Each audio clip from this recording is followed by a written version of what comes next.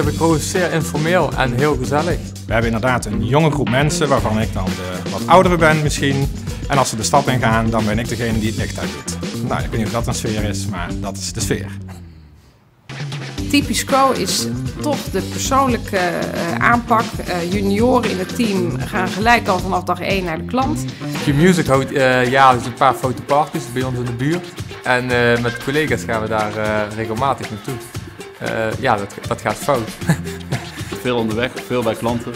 maar dat je daarnaast toch een goede band opbouwt met het team.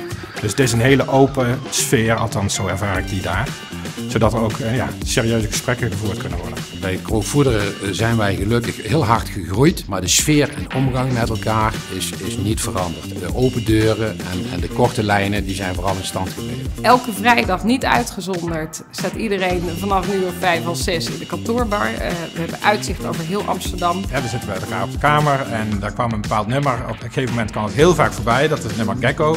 Nou, en elke keer als dat voorbij kwam, dan gingen we radio harder zetten, soort van los, een beetje meedansen met het nummer. En daarna weer gewoon hard aan de slag. Voor mij is er ook helemaal geen zang.